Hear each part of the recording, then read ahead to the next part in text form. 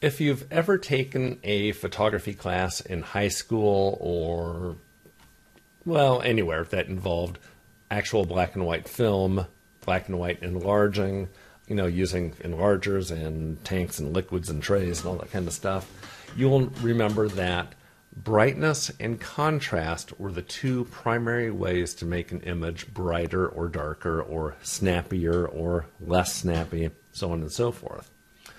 Photoshop has a similar function to that to make an image brighter or less bright, more contrasty or less contrasty. It's under Image, Adjustments, Brightness, Contrast. It's right there at the very top.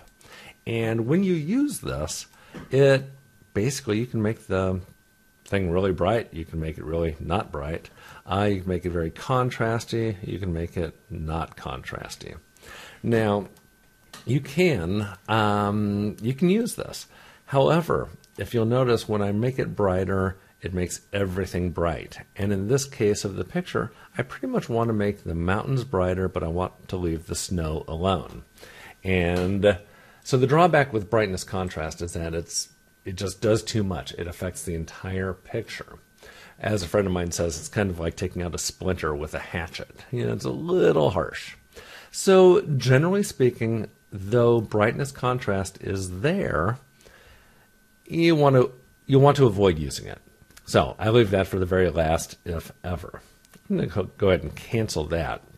And I'm going to mention that one of our goals with pictures, you know, in print or electronic media, and I guess it's more of a rule of thumb than a goal, is that you want your highlights or your whites to have detail, in other words, you want them to have a little bit of tone.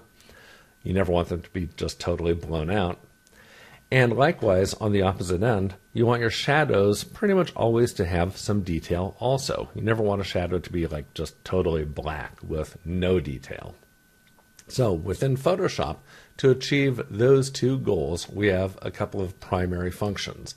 One is image adjustments and levels. The other one is curves. Now, we're going to talk about both of these and how they work.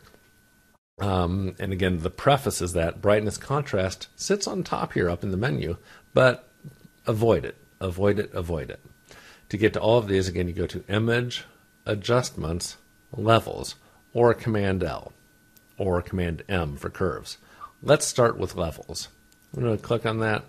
And what we get here, here's one of the note taking things I mentioned you should do, is that we have what we call a histogram. This is a histogram, and a histogram is the visual display of data within a photograph. So, what does that mean? Well, what that means is, in fact, you might recall another video a ways back where I talked about bits and bytes, and there's eight bits to a byte, so on and so forth and they all have R, G, and B to make up a color pixel. Well, what the levels adjustment does is it visually displays the density or the collection or the how much of the dark RGB pixels you have. That would be over here on the left hand side. Or you might want to say it's also the zero values. Then you also have the far right hand side, which is the brighter or the highest value, which is 255. Now, here's a little bit of trivia for you. Actually, it's not trivia, it's fact.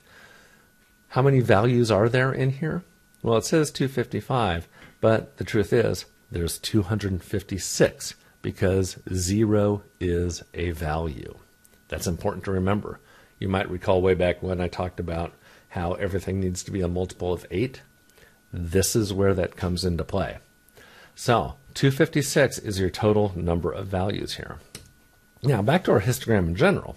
If you look at this, you can see that um, we have these sliders here.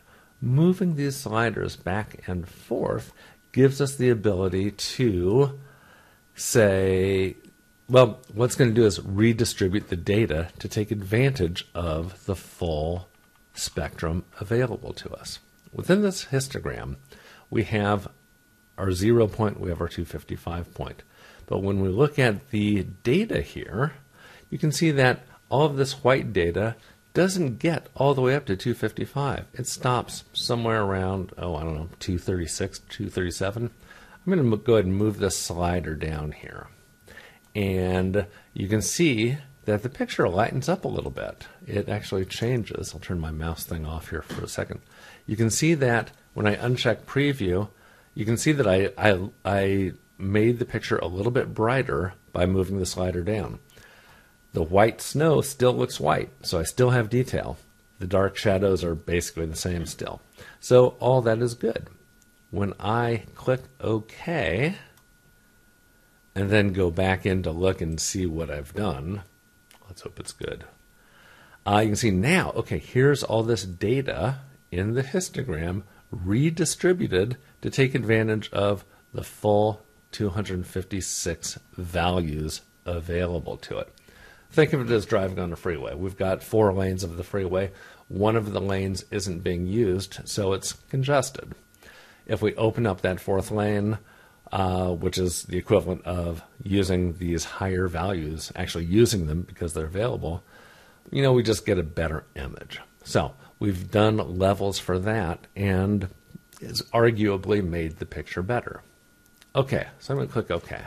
Now, we also have the, oh, what's the other adjustment? Curves. That's what I was saying. So we have image adjustment curves. Now, curves is basically the same thing, but it looks a little bit different.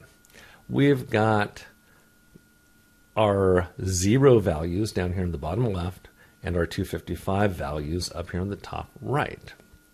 Now, what makes curves different is that we can just take this bar and move it up and down, and we can do some pretty dramatic changes.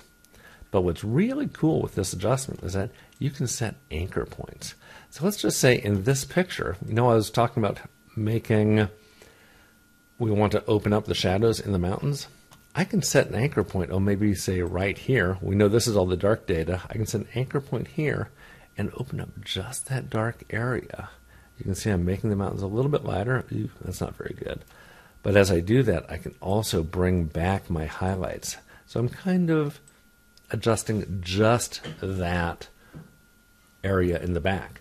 So arguably, again, you know, you can you can see an improvement in the shadow detail here when I toggle on and off on preview over here.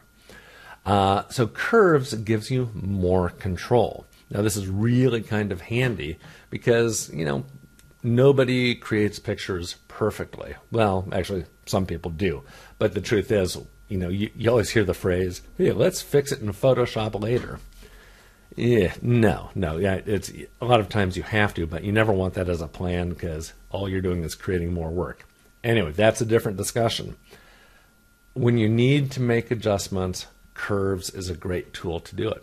Another reason is that in both levels and curves and other programs, you can save your presets. So here I have, I've done curves. Now I'm going to make this a little bit wacky for the sake of demonstration.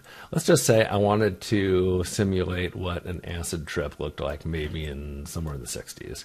Now, I of course am pure and clean and never ever ever did that, which is true. I never did that. Uh, but nonetheless, here is a kind of a whacked out image adjustment on this. I'm going to click on this little gear up here and I'm going to save that as a preset.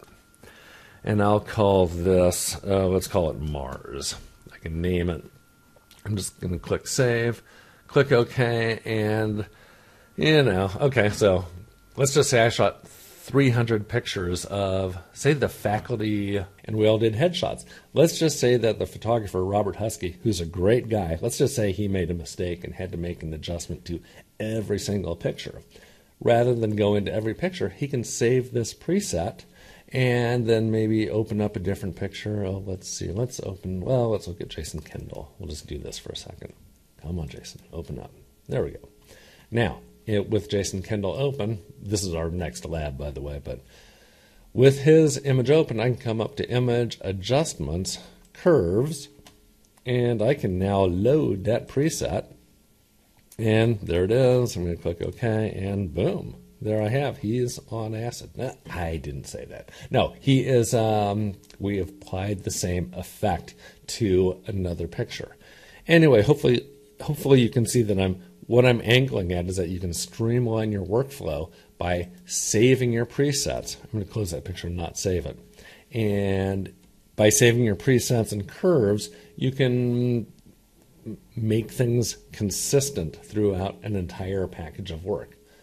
Back to the top of this whole concept is that we never really want to uh, overdo it. You want to make subtle changes, you want to make changes that are intended for specific purposes, like not making your whites too white, your blacks too black.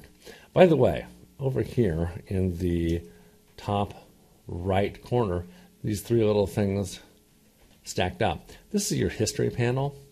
I call this the forgiveness panel because you can go back and undo what you did before.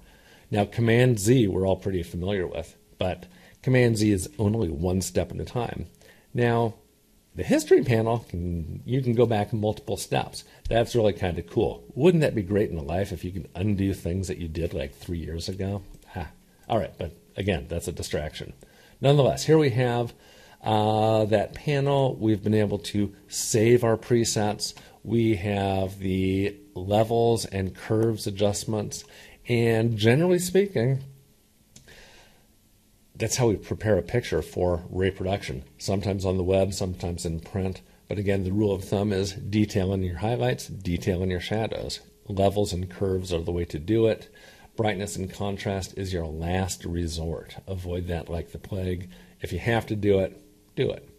Next up, I think we're going to talk about selections, about how to select an area so that you can make or apply curve and level adjustments to just that area. That's next. We'll see you there.